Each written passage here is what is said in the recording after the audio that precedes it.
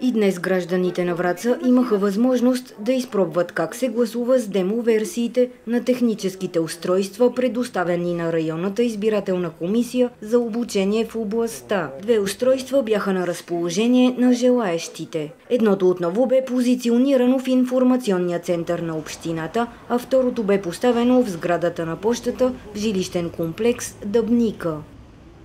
Всички хора бяха а, в началото притеснени, но после се убедиха от първо лице, че това е изключително лесно, прегледно и по-сигурно за тяхното гласуване.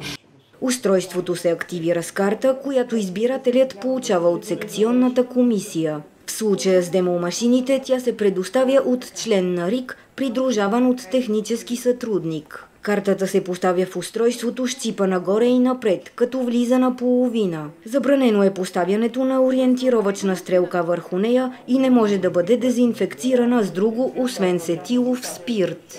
Избирателят гласува чрез натискане върху екрана, след което трябва да натисне преглед, да види своя избор изписан и да продължи с опцията гласуване. Ако номера на партията или коалицията е объркан, натискаме промени избора. След гласуването картата се изважда от устройството, което разпечатва разписка с вота. Тя се сгъва на две и избирателят я пуска в непрозрачна котия.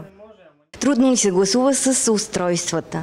Не, за предпочитане са, особено младите хора, предпочитаме да гласуваме а, с тях, тъй като е по-удобно, по-бързо и се избягват много манипулации.